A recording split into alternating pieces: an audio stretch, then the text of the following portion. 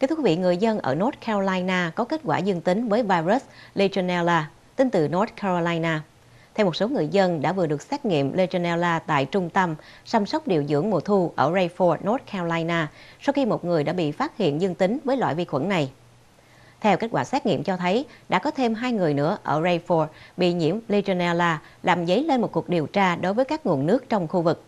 Vi khuẩn Legionella là một loại vi khuẩn gây bệnh có khả năng phát triển rất mạnh trong hệ thống đường ống dẫn nước trong nhà, trong đất và hệ thống dẫn nước ngoài trời. Loại vi khuẩn này phát triển đặc biệt mạnh mẽ vào cuối mùa hè và đầu mùa thu. Vi khuẩn Legionella có khả năng lây lan thông qua những giọt nước phun ra từ vòi tắm và hơi nước từ hệ thống điều hòa không khí. Việc nhiễm khuẩn sẽ gây ra bệnh Legionella.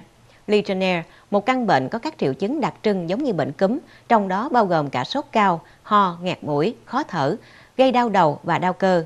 Nhà dưỡng lão ở Rayford hiện đã phải chuyển sang dùng nước đóng chai cho các mục đích sinh hoạt như để uống, đánh răng và cạo râu. Ngoài ra, họ cũng tiến hành lắp đặt các bộ lọc trong phòng tắm và trên các vòi nước để loại bỏ vi khuẩn.